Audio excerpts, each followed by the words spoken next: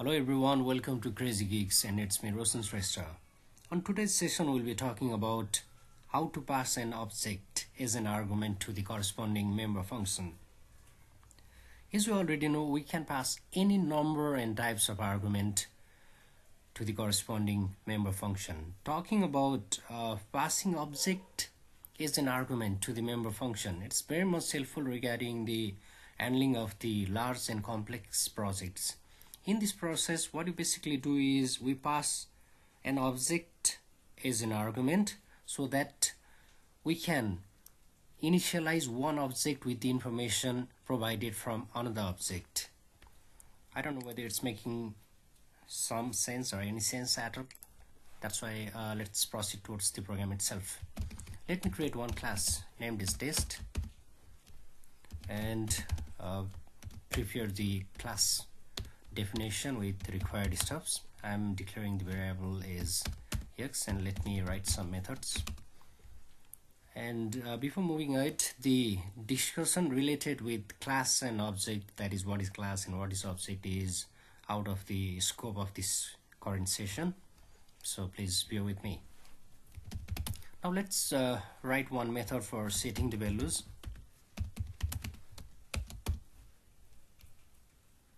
value of x equals a.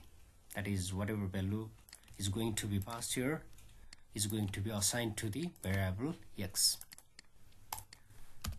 Now uh, let's write one method op for displaying the output. X is value of x. Now inside the main block I'll be creating one object t1 and setting the value of x is 22 by passing the value 22 22 is being passed here x equals 22 now let's verify by displaying the result. X is 22 no problem. Now let's create another object test t2 t2 dot in i'm passing the same number 22 and output again it displays the same information x is 22 and x is 22 this is related with t1 and this one is related with t2 now uh, this is just for the demonstration purpose. That's why I'm playing around with single variable.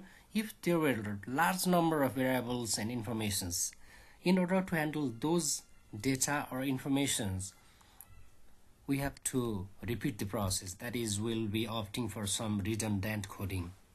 Redundant coding is not considered full approach at all. So uh, what I intend to do here in this case is rather than repeating the process uh, for the actual information and let's say uh, we need all the information related with this particular object t1 in the domain of t2 then passing object as an argument in the member function fits in. For that I'm writing one function named as fn and on argument part I'll be obviously uh, writing object. Let's say t is the name of the object. Now what we'll be doing is x equals t dot x whatever information is being passed assign it to the variable x. Now, soon after the creation of the object t2, I'm going to remove this one and write t2 dot fn. Now in this part we'll be passing whose information we need to make available. In this case it's t1. That's why I'm passing t1. Now what happens here is I've created object t1 and make a, a function call to in by passing 22 x equals 22 t1.ob x is 22 now on this part object t2 is being created t2.fn here we are passing t1 it implies whatever information are related with t1 make that available to the current object. And current object in this case is t2 this is the beauty of passing object is an argument to the corresponding member functions. Now if we compile and run this program, cool.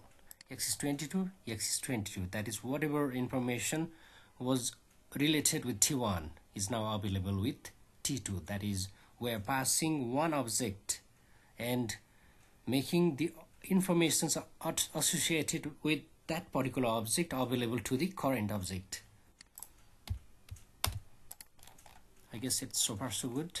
Uh, we can pass any number of information. For instance uh, there will be x and y variables. Y equals b. Test t. What about handling it this way? Y equals t dot y. X is x. Uh, and y is value of y. Wow. 22 33 200 no problem. Making function call okay let's try to run this program. T1.in 22 and 33 are being passed. Then output x is 22 and y is 33 on this part t2 we are passing object t1 uh, let's run this program.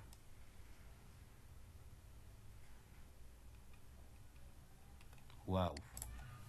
I've done silly mistake t1 and t2 uh, let's again build and run.